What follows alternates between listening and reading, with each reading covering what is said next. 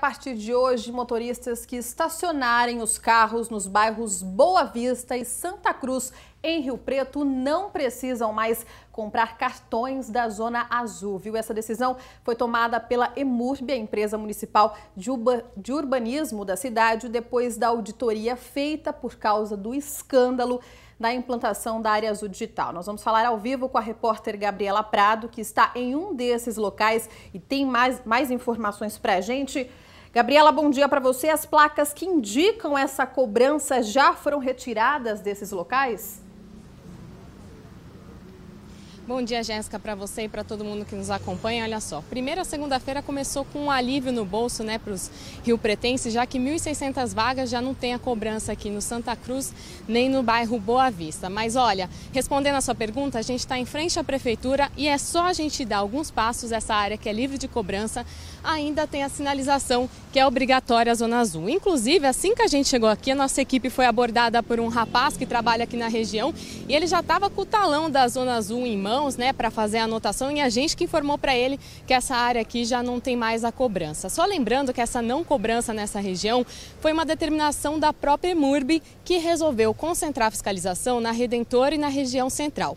Por lá são mais ou menos 3 mil vagas né, da Zona Azul, lembrando que o talão aqui custa R$ 3,50 por duas horas de utilização. A gente vai conversar com o presidente interino da EMURB, também secretário da Fazenda, Ângelo Bevilacqua. Primeiro, secretário, vamos falar dessa sinalização aqui, né? Tem um prazo para retirar nessa área que não tem mais cobrança? Bom dia. Bom dia. Bom, a, nós, a Secretaria de Trânsito já está providenciando a retirada das placas e nós aguardamos que em poucos dias a gente consiga. O quadro é reduzido de funcionários, então isso demanda um pouquinho de tempo, mas já está é, liberado o uso das vagas tanto na Santa Cruz como na Boa Vista. Agora, por que essa mudança de estratégia de intensificar a fiscalização na região da Redentora e na região central e tirar a cobrança aqui desses bairros? Bom, aqui no bairro da Santa Cruz, o resultado era extremamente baixo, é, estava trazendo prejuízos para nós. Então, nós resolvemos é, colocar todo o pessoal efetivo no centro e na Redentora, que são os bairros de maior afluxo né, de necessidade de vagas.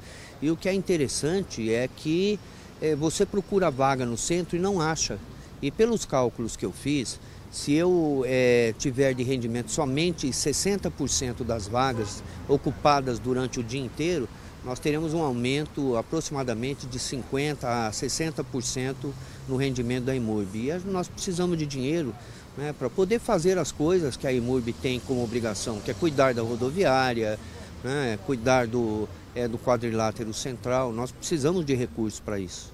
Agora falando das questões da Imurb, né?